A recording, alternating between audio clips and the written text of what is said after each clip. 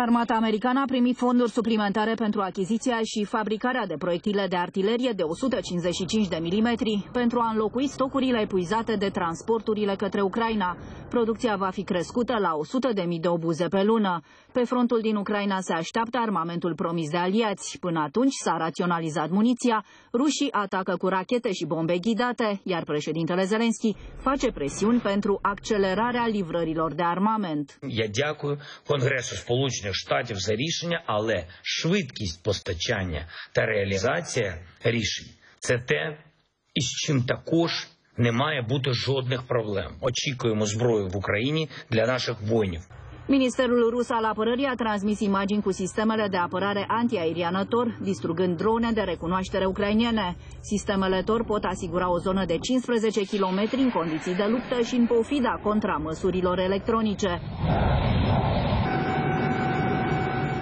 Între timp, Marea Britanie a promis un ajutor militar anual de 3 miliarde de lire sterline pentru Ucraina, cât timp va fi nevoie.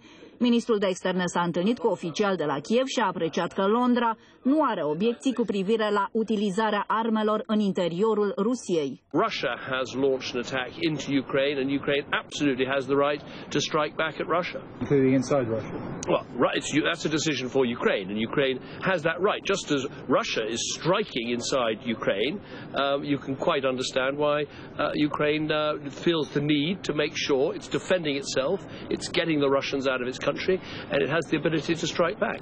Как еще одно очень опасное заявление, мы видим, э, мы видим такую вербальную эскалацию со стороны официальных представителей. Мы видим и на уровне глав государств, когда это касается Франции, э, на более экспертном уровне, когда это касается Великобритании. Но это прямая эскалация напряженности вокруг украинского конфликта. Șefa serviciilor secrete americane, Avril Haines, a apreciat într-o comisie pentru serviciile armate din Congres că este puțin probabil ca războiul din Ucraina să se încheie curând, referindu-se la tacticile din ce în ce mai agresive ale lui Vladimir Putin în Ucraina.